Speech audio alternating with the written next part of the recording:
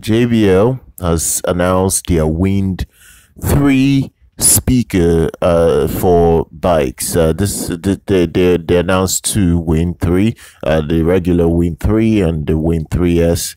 So this is a very very portable um, speaker, very small speaker that can be attached to your to your bike for mob for mobility. You can you can move around with it and listen to music. It's not the loudest it's not the biggest but it's decent.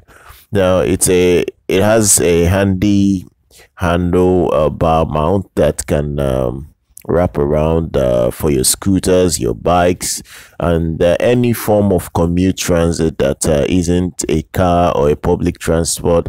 Um, so it's it's really really cool uh, it has a, a rugged design, uh, a rugged look to it. Uh, I think a lot of people would uh, like it and appreciate it for what it is. It's not going to be that product that will blow anybody away, but it's cool. Um, it, it's it's IP67 waterproof and dustproof. Uh, it, it's uh, it, it's it's as good as you can expect it to be.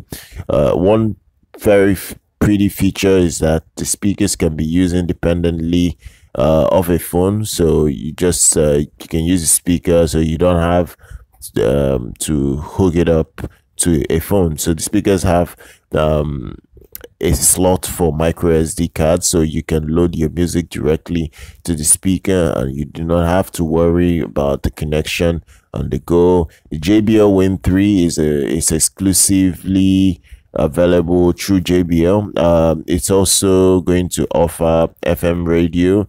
There is an LCD display on it, so for controls, uh, it's it's really really cool for what you can expect it to be. It's a, it's a, it's a little device. It's not it's not uh, the biggest device out there. It really it really is very portable.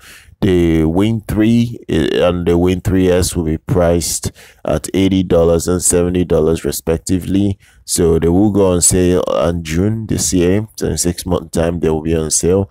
So do check it out. Drop specs for all of the two in the description if you want to check that out.